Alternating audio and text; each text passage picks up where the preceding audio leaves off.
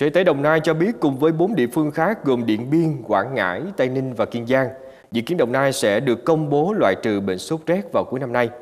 Mới đây Sở Y tế Đồng Nai cũng đã công nhận hai huyện Tân Phú và Vĩnh Cửu đạt loại trừ bệnh sốt rét. Đây cũng là hai địa phương cuối cùng của Đồng Nai được công nhận loại trừ sốt rét. Để được công nhận, các địa phương phải đạt các tiêu chí như phân công đủ cán bộ chuyên trách lĩnh vực này, có ít nhất 3 năm liên tục không có ca bệnh sốt rét nội địa trên địa bàn, vân vân. Theo thống kê của Bộ Y tế, trong năm 2022, cả nước ghi nhận 456 ca mắc bệnh sốt rét, giảm 2,4% so với năm 2021. Hiện có 42 tỉnh, thành phố đã công bố loại trừ bệnh sốt rét. Dự kiến của năm 2023 sẽ có thêm 5 địa phương công bố loại trừ căn bệnh này.